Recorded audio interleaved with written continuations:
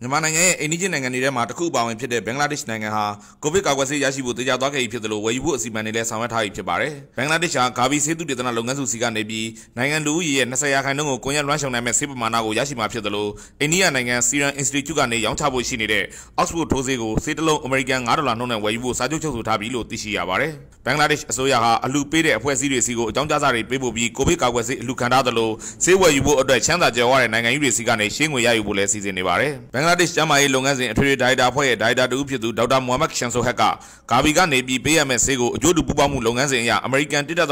ဒေါ်လာကနေ2ဒေါ်လာပတ်ဝန်းကျင်ဈေးနှုန်းနဲ့ရရှိမှာဖြစ်တယ်လို့ပြောကြားသွားခဲ့ပြီးဂါဘီစီကနေပြီးလိုအပ်လာရင်ထိုးဆေးအရေးအတွက်ကိုထပ်တိုးဝယ်ယူခွင့်ရှိပေမဲ့ထပ်တိုးဝယ်ယူလိုတဲ့ထိုးဆေးတွေကိုဘယ်လိုဈေးနှုန်းနဲ့ရောင်းချပေးမယ်ဆိုတာဂါဘီဘက်ကဆုံးဖြတ်ချက်ချမှတ်ထားတာမျိုးမရှိသေးဘူးလို့လည်းဒေါက်တာရှန်ဆိုဟက်ကဆက်လက်ရှင်းပြသွားခဲ့ပါတယ်ဂါဗီယာဆင်းရဲနွမ်းပါးတဲ့နိုင်ငံတွေကိုနိုင်ငံတစ်ခုချင်းစီရဲ့လူဦးရေ20ရာခိုင်နှုန်းအတွက်ကွန်ရက်လွှမ်းခြုံနိုင်စေမဲ့ကိုဗစ်ကာကွယ်ဆေးပမာဏကိုအဖိုးနှုန်းသားချိုသာစွာနဲ့ရရှိအောင်စီမံပေးသွားမယ်လို့ကြေညာထားပြီးဂါဗီကနေစီစဉ်ပေးမဲ့ကိုဗစ်ကာကွယ်ဆေးဟာဆေးနှလုံးထိုးရတဲ့အမျိုးအစားဖြစ်မယ်လို့သတင်းကြားသိရပါတယ်။ ဘင်္ဂလားဒေ့ရှ်ဟာဂါဗီရဲ့အစီအမံကနေပြီးဆေးလုံးရေ68တန်းရရှိမှာဖြစ်ပါတယ်။ဘင်္ဂလားဒေ့ရှ်ဟာအိန္ဒိယနိုင်ငံ Serum Institute ကနေရောင်းချဖို့ရှိနေတဲ့ Oxford ထိုးဆေးကိုဆေးတစ်လုံးအမေရိကန်9ဒေါ်လာနှုန်းနဲ့ဆေးလုံးရေတန်း30ဝယ်ယူဖို့စာချုပ်ချုပ်ဆိုထားပြီးလည်းဖြစ်ပါတယ်။သူတို့နိုင်ငံအနေနဲ့ကာကွယ်ဆေးထုတ်မှုလုပ်ငန်းစဉ်ကိုအများဆုံးစတင်နိုင်မှုအစီအမံတွေဆောင်ရွက်နေပြီလို့လည်းဒေါက်တာရှန်ဆွဲကအသိပေးထားပါတယ်။ ဂါဘီကနေရရှိမဲ့ကာကွယ်ဆေးနဲ့ဝယ်ယူဖို့စီစဉ်ထားတဲ့ကာကွယ်ဆေးအရေးအတွက်ကိုပေါင်းလိုက်ရင်ဘင်္ဂလားဒေ့ရှ်နိုင်ငံသားအရေးအတွက်45တန်းကိုဆေးထိုးပေးနိုင်မယ့်အနေအထားရှိကြောင်းသိရှိရပါတယ်။ဘင်္ဂလားဒေ့ရှ်နိုင်ငံမှာလူဦးရေစုစုပေါင်း165တန်းရှိပါတယ်။ရှမ်းသာရဲ့နိုင်ငံကြီးတွေမှာကိုဗစ်ကာကွယ်ဆေးထိုးနှံမှုလုပ်ငန်းစဉ်တွေစတင်နေပြီဖြစ်လို့